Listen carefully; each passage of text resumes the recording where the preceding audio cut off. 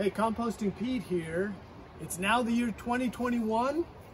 We've done a spring and a fall application uh, last year.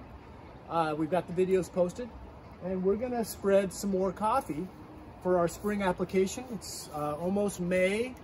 The rain's just started, so it's perfect timing. And you can see I've already spread two, four, six, seven buckets. Uh, and you can't even really see it I did that yesterday.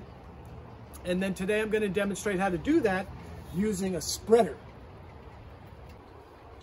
So these are common kind of fertilizer or seeder spreaders.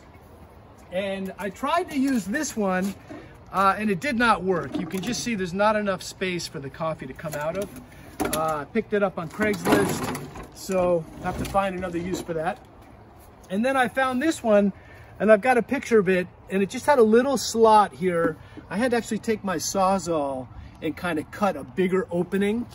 Uh, but this holds five gallons and it's actually perfect. So I'm gonna demonstrate how it's done.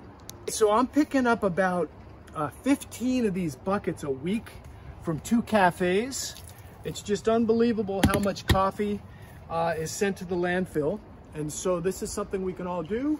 Uh, it's got a fertilizer value of about 211 NPK. The one thing is you're gonna need to use coffee uh, that's from kind of the espresso machine because it's already kind of dry. And so we'll dump that in our bucket, our hopper.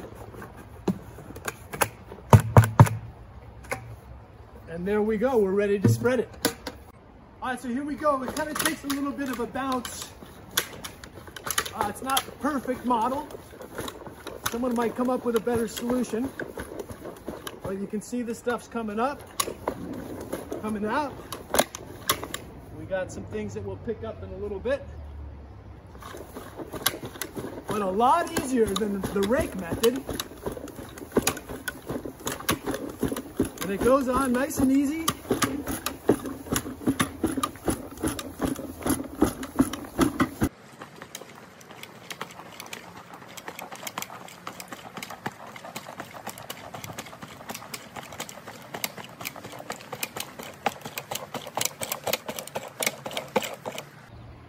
This bucket's a little bit wet, so we'll kind of see how this goes on.